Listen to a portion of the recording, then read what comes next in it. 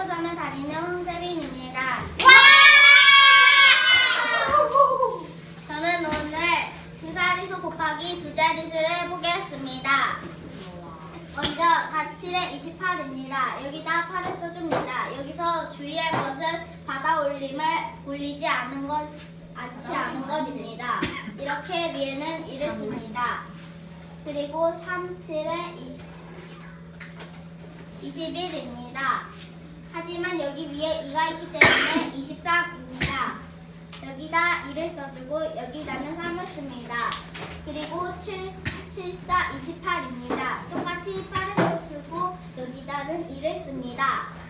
그리고 3, 7에 21입니다. 마찬가지로 여기 2를 더해줍니다. 그러면 똑같이 23입니다. 그리고 이제 이것을 더합니다.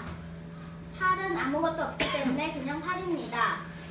3에서 8을 더하면은 11입니다. 여기다 받아 올림을 해주고 2에서 3을 더하면 5입니다. 여기 1이 있어서 마찬가지로 해줍니다. 그러면 6이 됩니다. 2도 마찬가지로 아무것도 없기 때문에 그냥 이렇게 그냥 2입니다.